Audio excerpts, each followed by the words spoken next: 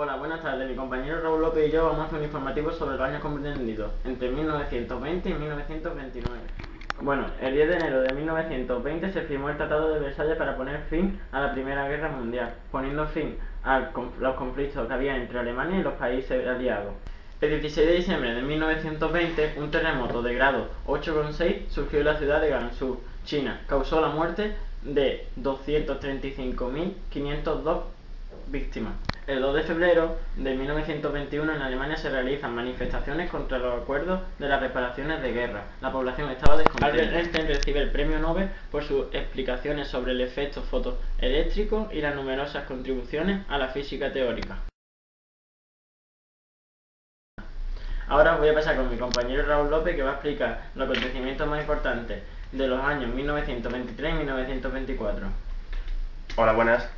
El 10 de febrero de 1923, gracias al científico Carnot, se descubre la tumba de Tutankamón.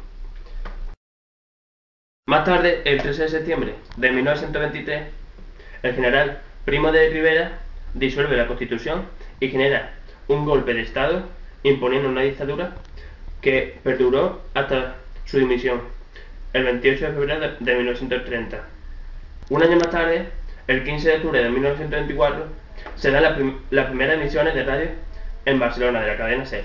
El 8 de septiembre de 1925, las fuerzas del dictador Rivera llevan a cabo el desembarco de Alufemo, en Marruecos, poniendo fin a la guerra entre Marruecos y España. El 10 de junio de 1926 muere el arquitecto español Antonio Gaudí.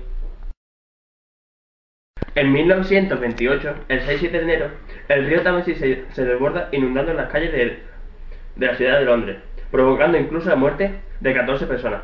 Fue una de las mayores inundaciones de la capital británica. Más tarde, el 10 de febrero, se realiza la primera conexión telefónica inalámbrica entre Alemania y los Estados Unidos.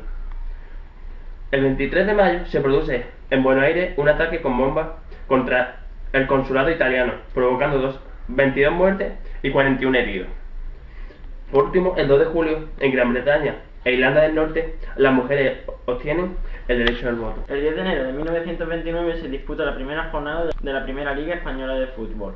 El 9 de mayo, en España, se inaugura la Exposición Iberoamericana de Sevilla. Y el 24 de octubre, en Nueva York, sucede el Jueves Negro, la caída de la Bolsa de Nueva York. Marca el, el inicio de una gran depresión, el crack del 29. Nos despedimos con este informativo. Hasta luego. Hola, buenas tardes. Vamos a hacer un informativo y aquí le presento a Martín Alba, un gran presentador. Hola, buenas tardes. Mi compañero Raúl y yo vamos a hacer un informativo.